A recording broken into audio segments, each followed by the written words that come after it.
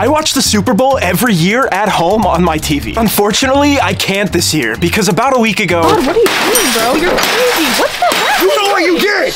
Just a bunch of stupid stuff went down. So this year, I have no other choice but to just go watch it in person. But tickets are way too expensive, so I'm gonna have to sneak in. So now I have a 14 hour drive from Texas to Arizona. This is what I look like in Texas.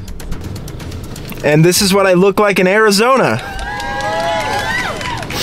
I don't, I probably, I actually, I actually probably don't look any different. I'm gonna go to the State Farm Stadium where the Super Bowl is gonna be at tomorrow. I met up with my friend Adam and we walked around the stadium trying to find any way we can get in. And we actually ended up running into one of the head security guards. I bet there's probably gonna be like a lot of people trying to like sneak into this. Oh, thing. there is. There's been people flying drones to figure out ways to get No in. There's way. people- You could just escort us in. Just get it.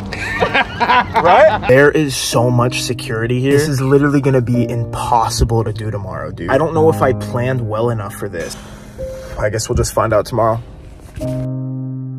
Good morning. Today's the day of the Super Bowl. So my plan was pretty simple. Put on some yellow vests, get a ladder, and just try to walk it straight through security. But after driving to the stadium, I realized that that wasn't going to be possible. This place is so packed. I'm not gonna try to walk in there with the ladder, and I think we'll just draw way too much attention to us. We're literally just gonna try to put on yellow vests and just try to walk through. What do you think? I'm really scared. I really don't think this is gonna work. I was a little nervous, but people started coming up to me thinking I actually worked there. Then I got to the first security checkpoint and I saw a cop start walking in. Even though he can literally arrest me, I followed behind him.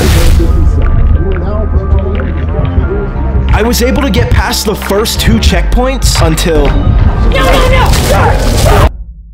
well, that didn't that didn't work at all. And after that didn't work, I tried to use Airrack's AirTag trick. But it was really hard to find people to give it to because the game had already started. AJ Brown, he's got it! Touchdown! Eagles just scored a touchdown. I am still not watching the game. I can't miss this game, dude. And then after having no success with the AirTags, it was already halftime.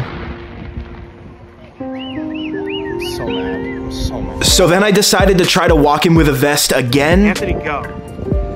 And again, and the third time they literally just escorted me right back out. I was so down bad that I tried spitting some W Riz with a cop, and I was even asking some security guards if I could have their clothes. Can I have your stuff to get in?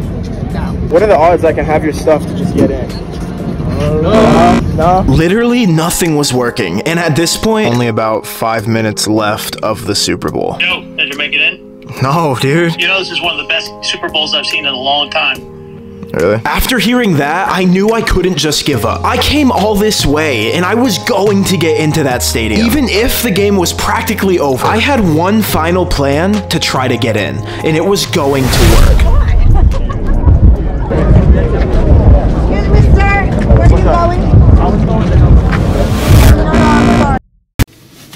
That didn't work at all. Yeah, that's crazy. I didn't um I didn't get in. I'm so mad. It was the hardest thing I've ever done. This is the first thing I've ever tried to sneak into. And I suck, dude. And I sucked. But this is my promise right now. 2024, I'm sneaking into the Super Bowl. For real. Airrack didn't get in his first try. I'm not trying to be an Airrack copycat or anything. Hey man, if we're following in Airrack's footsteps, I should be at a million subscribers by the end of the year, so.